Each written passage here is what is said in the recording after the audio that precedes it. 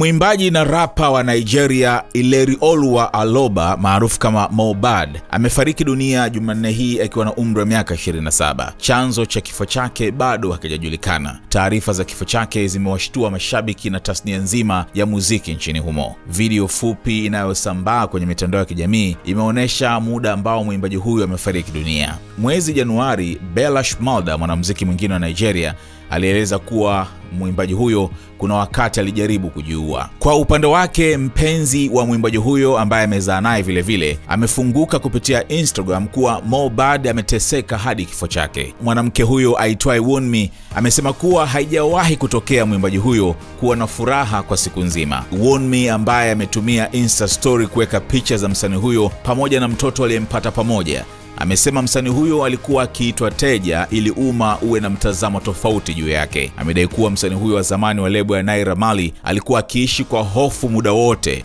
na kuongeza kuwa wasiwasi wake uliongezeka zaidi baada ya kuzaliwa mtoto wao wa kiume mwenye miezi mitano sasa aitwaye Liam. Huyu jamaa ameteseka hadi kifo chake, maumivu mengi sana, vitisho. Amekuwa akiishi na uoga muda wote, kupigana kusikoisha kokote aendako. Hajawahi kuwa na furaha kwa siku nzima. Aliitwa Teja, chizi, ana matatizo ya akili ili watu wamfikirie vingine. Walau wamekufa sasa, ninyi mmeshinda, chukueni tuzo yenu, ameandika. Mmetengeneza mjane wa miaka 24, ameongeza. Hakuna kitu kinachompa furaha tena. Hata baada ya kumwona mwanaye alikuwa mwoga zaidi. Ni mtu mwenye familia sasa, hataki chochote kitokee kwetu. Nilitakiwa kuchukua paspoti ya mwanangu ili kufanya mchakato wa kusafiri.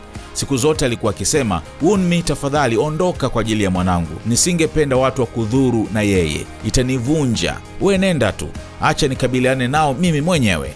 Ileriolwa, pumzika kwa amani, ulihitaji sana amani hiyo, ameandika kwenye Insta story. Mwaka 2019 baad aliachia EP yake ya kwanza baada ya kukubali kusainiwa na Marian Records World ikiwa na nyimbo nane. Ipi hiyo ilishirikisha wasanii mbalimbali wakiwemo Davido, Naira Marley na Lil Kesh. Baada ya miaka miwili alitangaza kuondoka kwenye lebo hiyo.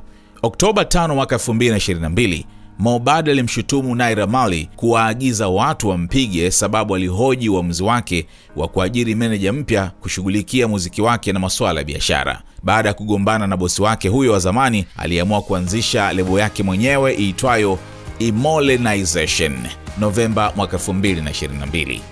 Mo Bad anajulikana zaidi kwa nyimbo zake Ponmo, Feel Good na Kopoke akiwa na Rexy. Mwaka 2022 alitajwa kuonea vipengele vitatu kwenye tuzo za The Headies. Wateja wako watarajiwa wanaangalia video hii. Kama biashara yako ingeonekana pamoja na unachokiangalia sasa, wengi wangegeuka kuwa wateja wako wapya. Tuandikie sasa info at snstz.com au whatsapp pekee 0659 250 389. Tuifikishe biashara yako kwa wana SNS.